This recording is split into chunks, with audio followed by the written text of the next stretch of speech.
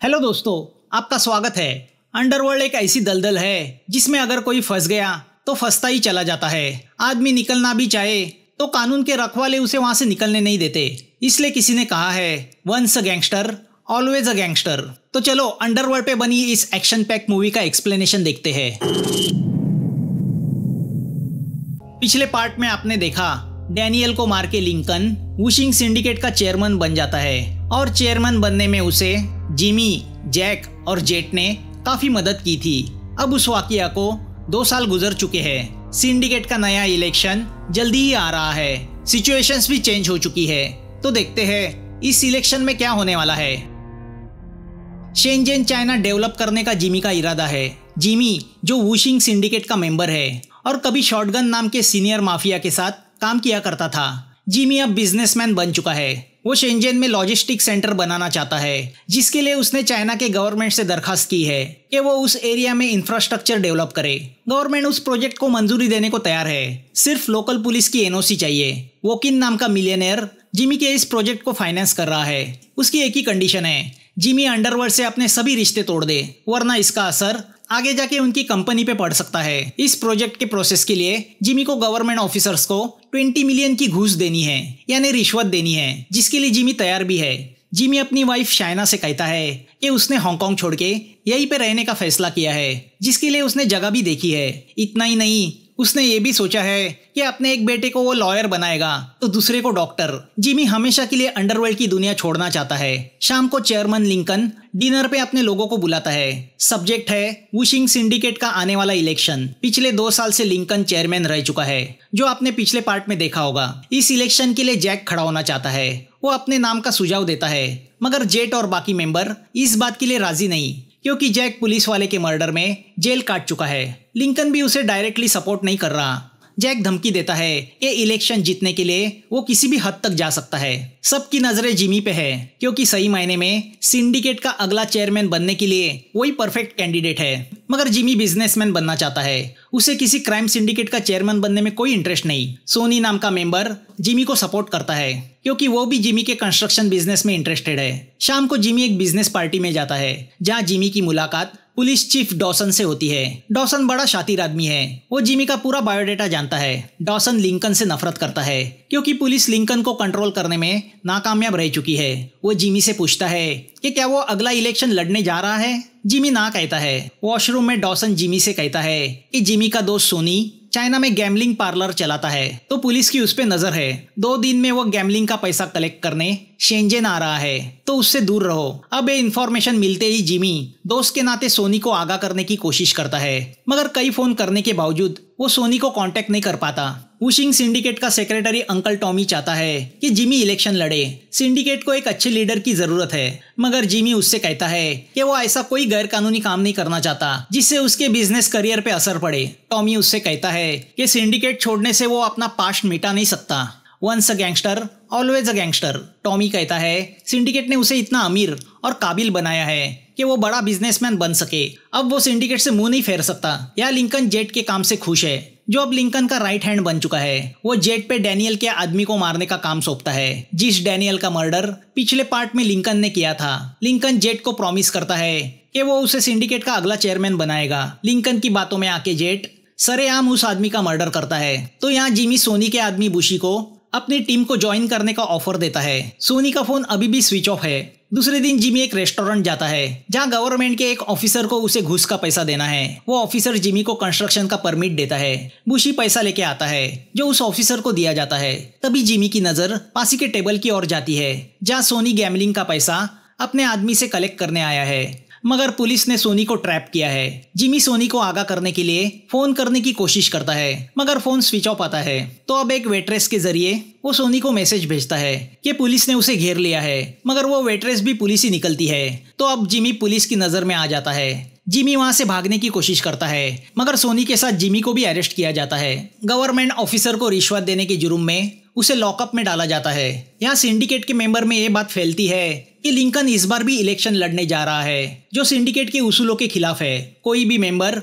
सिर्फ़ एक ही बार चेयरमैन का इलेक्शन लड़ सकता है। फिर भी कुछ मेंबर लिंकन को सपोर्ट करने को तैयार है। मगर अंकल टॉमी नहीं मानेंगे। जैक ने चेयरमैन के लिए अपना नाम दिया है। मगर जैक को तो कोई भी चेयरमैन नहीं बनाना चाहता। उस पर बहुत क्रिमिनल केसेस चल रही है। काफ़ी लोग जिमी के फेवर में है। वो लिंकन से कहते हैं कि अगर जिमी उसके ऑपोजिट खड़ा हुआ तो लिंकन की हार पक्की है। यहाँ लॉकअप में रखे जिमी को डॉसन छुड़ाता है। डॉसन जिमी से कहता है, तुम हांगकांग के सिटीजन हो, मगर तुम्हें चाइना में अरेस्ट किया गया है। हालाँकि अब दोनों एक ही देश का हिस्सा है, मगर कानून अलग है। तो अब क्रिमिनल रिकॉर्ड के बलबूते पे तुम यहाँ मिनलैंड चाइना में बिज़नेस नहीं कर सकते। अपने लॉजिस्टिक बिज़नेस सेंटर को भूल जाओ। वैसे कई क्रिमिनल चाइना में बिज़नेस कर रहे हैं, क्योंकि उन्होंने हमारे साथ सेटिंग की है। तुम भी कर सकते हो। जिमी तैयार होता है। डॉसन कहता है, तुम वुशिंग सिंडिकेट के टॉप के मेंबर हो। अगर तुम उसके चेयरमैन बन गए तो तुम्हें बिज़नेस के लिए यहाँ परमिशन दी जाएगी। दूसरी ओर लिंकन के बेटे टोनी को लेके, उसकी स्कूल की प्रिंसिपल लिंकन को स्कूल बुलाती है। प्रिंसिपल लिंकन से कहती है, तुम्हारा बेटा बुरी संगत में है। क्लास अटेंड नहीं करता। गैंग के साथ मिलकर मारपीट करता रहता है। प्रिंसिपल लिंकन को वार्न करती है कि टोनी की हरकतें ऐसी ही रही तो उसे स्कूल से निकाला जाएगा। लिंकन अपने आदमी से कहता है, ये मालूम कर लो, टोनी किन लोगों की संगत में रहता है? यहाँ जिमी अपने पुराने बॉस शॉटगन से मिलता है और चेयरमैन के इलेक्शन के लिए खड़े रहने का अपना इरादा ज़ाहिर करता है। शॉटगन उसे अपने पुराने सिंडिकेट के साथियों से मिलाता है और कहता है कि अगर वो इलेक्शन लड़ेगा तो ये लोग उसे सपोर्ट करेंगे। तो सोनी जिमी को बोई नाम के एक कॉन्ट्रैक्ट किलर से मिलवाता है, क्योंकि अब जब जिमी इलेक्शन लड़ने जा रहा है तो उसे ऐसे बॉडीगार्ड की ज़रूरत पड़ेगी। बोई जिमी से कहता है कि वो उसे प्रोटेक्ट करेगा, मगर इस काम के वो अच्छे खासे पैसे भी लेगा, और अगर पैसे नहीं मिले तो वो जिमी को भी मारेगा। जिमी तैयार होता है। जिमी के इलेक्शन लड़ने की खबर सुन के लिंकन और जैक दोनों डिस्टर्ब हुए हैं। तभी लिंकन जैक से कहता है कि इस बार भी वो इलेक्शन लड़ना चाहता है। वो सुन के जैक हड़बड़ा जाता है, क्योंकि चेयरमैन के इलेक्शन के लिए लिंकन ने उसे सपोर्ट करने का प्रॉमिस किया था। लिंकन जैक से कहता है कि वो नेक्स्ट टाइम इलेक्शन लड़े। जैक उससे कहता है कि क्यों ना इस बार दो चेयरमैन बनाए जाए, एक तुम और दूसरा मैं। वो सुन के लिंकन हंसने लगता है, क्योंकि दो साल पहले यही बात डैनियल ने उससे कही थी। तब लिंकन ने उसे मार दिया था। लिंकन जैक को मना करता है तो इस बार जैक लिंकन को मारने मोड़ता है। कि तभी कुछ टूरिस्ट वहाँ आ जाते हैं। तो लिंकन को मारने का अपना आइडिया वो ड्रॉप करता है। लिंकन मरते मरते बच जाता है। दोनों फैसला करते हैं कि पहले वो जिमी को खत्म करेंगे, बाद में अपना फैसला करेंगे। यहाँ इलेक्शन को लेके सभी गैंग मेंबर की मीटिंग होती है। मेंबरों में काफ़ी बहस होती है। एक मेंबर जिमी से कहता है कि उसका वो बॉक्सिंग कोच बुशी पुलिस का इन्फॉर्मर है, जिसकी वजह से पिछली बार सोनी और जिमी पकड़े गए थे। गलत लोगों को जिमी ने अपनी संगत में रखा है। जिमी उनसे कहता है, मैटर को सुलझाना वो जानता है और बुशी का फैसला वो जल्दी ही करेगा। तो अगली ही रात जिमी बुशी को एक बोट पे ले जाके कुछ गुंडों के ज़रिए पानी में डुबो के मार देता है। तो यहाँ लिंकन जिमी के बिज़नेस पार्टनर वोकिन को किडनैप करता है, जिसके पैसे के दम पे जिमी उछल रहा है। जैक मोटू को और वोकिन को एक कॉफिन में बंद कर देता है, क्योंकि मोटू भी कुछ काम का नहीं रहा। अब लिंकन जिमी से मिलता है और उससे कहता है कि इलेक्शन से वो अपना नाम हटाए, वरना उसके बिज़नेस पार्टनर को मार दिया जाएगा। जिमी लिंकन से कहता है, उसे मारने से तुम मेरा इरादा नहीं बदल सकते। उस पर लिंकन उससे कहता है बिजनेसमैन बनना है तो बनो। गैंगस्टर बन के क्या उखाड़ोगे? जिमी उससे कहता है, इस बार या तो तुम रहोगे या मैं रहूँगा। तो लिंकन भी उससे कहता है, जल्दी ही वोकिन की डेड बॉडी उसे भेज दी जाएगी। अब जिमी लिंकन को धमकी देता है कि अगर ऐसा हुआ तो बहुत लोग मरेंगे। अगले दिन लिंकन अपनी वाइफ के मेमोरियल जाके उसके अंदर छुपाया हुआ ड्रैगन बैटन निकालता है। अंकल टॉमी लिंकन से कहते हैं कि वो दोबारा इलेक्शन नहीं लड़ सकता। ये सिंडिकेट का रिवाज है। हर मेंबर ज़िंदगी में सिर्फ़ एक ही बार इलेक्शन लड़ सकता है। वरना चेयरमैन की पोस्ट को लेके गैंग वॉर होगा। एक का लालच सबको ले डूबेगा। अगला चेयरमैन जिमी ही बनेगा। तो अब लिंकन अंकल टॉमी को सीढ़ियों से नीचे धक्का दे के मार देता है। और फिर ड्रैगन बैटन अपने एक आदमी के हवाले करके उससे कहता है कि वो उसे चाइना में कहीं छुपाए। अब लिंकन जिमी को मारने की सुपारी जेट को देता है। वो जेट से कहता है कि जिमी सबको मेरे खिलाफ भड़का रहा है। लिंकन जेट को प्रॉमिस करता है कि दो साल बाद होने वाले अगले इलेक्शन में वो उसे चेयरमैन बनाएगा। तो रात को जेट जिमी को मारने निकलता है। जिमी शाइना के साथ एक रेस्टोरेंट में डिनर करने आया है। रेस्टोरेंट के बाहर कार से चक्कर काट रहे जेट को जिमी देख लेता है और डिनर कैंसिल करके शाइना को पिछले दरवाजे से बाहर निकलने कहता है। तभी उसे अंकल टॉमी के मौत की खबर मिलती है। वो समझ जाता है। लिंकन सीधा लड़ाई पे उतर आया है। जेट शाइना को हॉस्टेज बना लेता है। जिमी का बॉडीगार्ड बोई जेट को मारने मोड़ता है, मगर जिमी उसे रोकता है। जिमी जेट की कार में बैठता है। जेट की बॉडी लैंग्वेज से जिमी समझ जाता है कि वो उसे मारना नहीं चाहता। जिमी उससे कहता है तुम हिटमैन हो तो तुमने मुझे मारा क्यों नहीं? जेट उससे कहता है, लालच दे के कोई भी मुझसे गलत काम नहीं करवा सकता। मैं एक दिन चेयरमैन ज़रूर बनूँगा, मगर सिंडिकेट के रूल्स पे चल के जेट जिमी को छोड़ देता है। अब बोई के ज़रिए जिमी लिंकन के खास आदमियों को उठा लेता है। वो उनके हाथों ही लिंकन का मर्डर करवाना चाहता है, ताकि कोई उस मर्डर का कनेक्शन उसके साथ ना जोड़े। मगर काफ़ी टॉर्चरिंग के बाद भी वो लोग लिंकन का मर्डर करने को तैयार नहीं होते। उन्हें पैसों का लालच भी दिया जाता है, मगर फिर भी वो टस से मस नहीं होते। तो अब जिमी ऐसा कदम उठाता है, जिससे हमारे रोंगटे खड़े हो जाते हैं। वो उनमें से एक आदमी के शरीर के टुकड़े करता है और उसका खिमा बना के कुत्तों को खिलाता है। जिमी की वो हैवानियत देख के बाकी बचे हुए लिंकन के वो लोग खौफ में चले जाते हैं और लिंकन को मारने को तैयार होते हैं। अब जिमी को अपने पार्टनर वोकिन को ढूंढना है, जिसे लिंकन ने किडनैप किया है। तो उसे पता चलता है कि दो दिन पहले लिंकन एक फ्यूनरल शॉप आया था, यहाँ लिंकन भी जिमी के मर्डर की सुपारी जैक को देता है। दूसरी ओर बोई फ्यूनरल शॉप में जाके वहाँ पैरा दे रहे लिंकन के आदमियों को एक एक करके मारता है और वोकिन को ढूंढता है। तो बाहर जैक जिमी का रास्ता रोकता है। जैक कार में बैठे जिमी को मारने जाता ही है। कि तभी उसे फ्यूनरल शॉप से फ़ोन आता है कि जिमी का आदमी वोकिन को छुड़ा के लेके गया। तो जैक फ्यूनरल शॉप की तरफ़ भागता है। जिमी भी कार से शॉप की तरफ़ भागता है। यहाँ बोई वोकिन को बंद की हुई कॉफिन को एक ट्रक में चढ़ा रहा होता है। कि तभी जैक और उसके आदमी वहाँ आके बोई पे हमला करते हैं। जिमी भी वहाँ पहुँचता है। तो आखिरी सांसे गिन रहा बोई उसे दिखता है। जैक ने उसकी वो हालत की है। तभी पुलिस वहाँ आती है। तो कॉफिन को पुलिस के हवाले करके जिमी वहाँ से भागता है। जैक भी भाग जाता है। दूसरी ओर लिंकन का बेटा टोनी कुछ छपरी गुंडों की गैंग ज्वाइन करने जाता है। तभी लिंकन और उसके लोग वहाँ आके उन छपरी लड़कों को मार देते हैं। वो देख के डर के मारे टोनी वहाँ से भागता है। लिंकन कार से उसका पीछा करने लगता है। तो पिछली सीट पे बैठे उसके लोग, जिन्हें जिमी ने किडनैप किया था, वो लिंकन को बेहोश करके उसे किडनैप करते हैं। ज़ाहिर है किसी सुनसान जगह ले जाके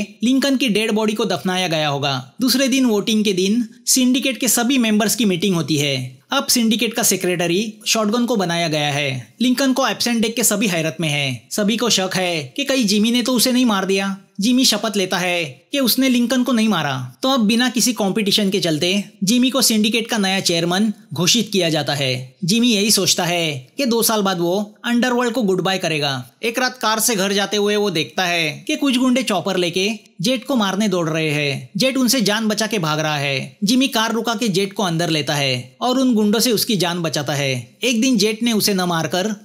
उसकी जान बचाई थी। तो आज जिमी ने जेट को बचा के उसका वो कर्जा चुकाया था। वो जेट को अपना विजिटिंग कार्ड देता है और उससे कहता है कि कभी ज़रूरत पड़ी तो बेझिझक उससे कांटेक्ट करे। मगर कार से उतरने के बाद जेट उस कार्ड को डस्टबिन में फेंक देता है। वो जान चुका है। सब एक ही थाली के चट्टे बट्टे है। आज दोस्ती का हाथ बढ़ाएँगे और कल उसी हाथ से पीठ में चाकू भोंक देंगे। अगले दिन जिमी अपनी कंस्ट्रक्शन साइट जाता है। पुलिस चीफ डॉसन ने उसे लॉजिस्टिक सेंटर बनाने के लिए एनओसी दी है। डॉसन नए बिज़नेस की शुभकामनाएँ जिमी को देता है। उसका क्रिमिनल रिकॉर्ड भी मिटा दिया गया है। अब डॉसन जिमी को ड्रैगन बैटन देता है, जो उसने लिंकन के आदमियों से हासिल किया था। जिमी डॉसन से पूछता है कि इतनी मेहरबानियाँ करके वो आखिर चाहता क्या है? डॉसन उससे कहता है, आज के बाद तुम हमेशा के लिए उशिंग सिंडिकेट के चेयरमैन बने रहोगे। तुम्हारे बाद तुम्हारे बेटे, तुम्हारे पोते, उनके पोते चेयरमैन की गद्दी चलाएँगे। वुशिंग में इलेक्शन रिवाज खत्म हो जाना चाहिए। इलेक्शन के नाम पे तुम गैंगस्टर्स इंसानियत छोड़ देते हो। लॉ एंड ऑर्डर तोड़ देते हो।